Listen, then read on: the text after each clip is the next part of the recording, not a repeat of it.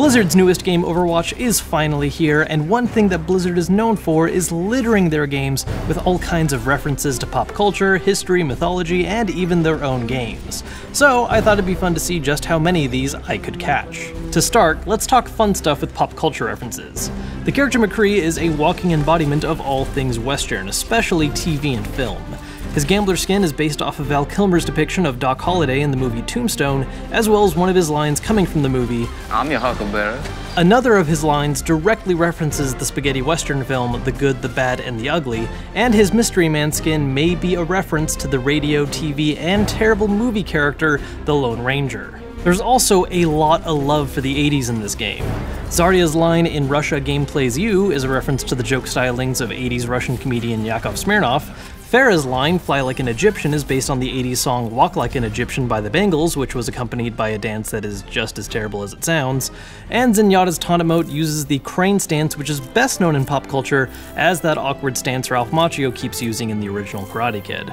There's also a little bit of love for the 60s and 70s. Soldier 76's appropriately named Daredevil skin is based on the motorcycle Daredevil Evel Knievel, and Winston's line, Don't Get Me Angry, is probably a slightly reworded reference to one of the most popular similar lines to come from the 70s Hulk TV show. Don't make me angry. You wouldn't like me when I'm angry. Blizzard, of course, also managed to cram in some references to their own games. The characters Widowmaker and Reaper bear some similarities to the StarCraft units Ghost and Reaper. Reinhardt's line Crusader Online is a reference to a similar line spoken by StarCraft Goliaths, and his Lionheart skin bears similarities to Alliance armor from Warcraft.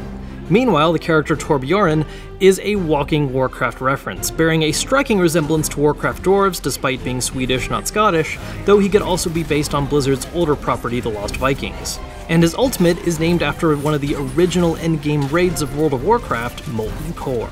There's also multiple references to gaming culture outside of specifically just Blizzard games.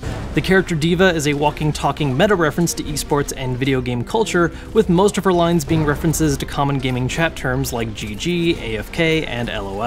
Hanzo's line, I choose you Spirit Dragon, is clearly a Pokemon reference, Pharah's line Rocket Jump references the popular gaming move of performing a super jump in FPS games by using a rocket launcher, which dates back as far as Quake 3, and Lucio's line You Gotta Believe might be a reference to Parappa the Rapper, who would start each song with the line I Gotta Believe.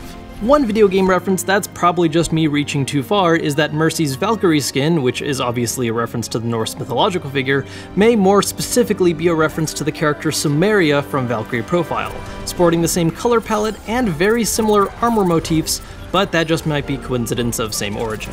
Other cultural references include Reaper's Nevermore skin calling back to the Edgar Allan Poe poem The Raven, while his Mariachi skin may be a reference to the movie series of the same name. Winston's Thinker pose is based on the same titled statue. Zenyatta's line, I think therefore I am, is one of the most famous quotes from the philosopher Descartes, Junkrat's epic skins might be a reference to the more unhinged Batman villains Joker and Scarecrow, and Mei's line, You Have to Let It Go, is clearly referencing the Disney film Frozen, who plagued all of our minds with the phrase Let It Go for years after its release.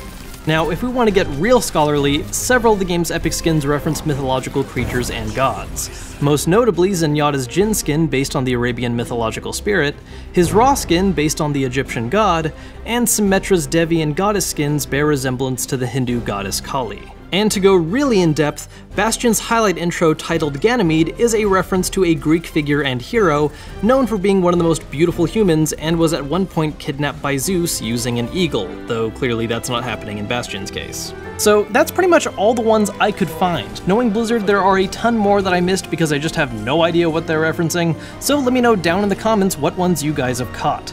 As always guys, thank you so much for watching, and I will see you next time.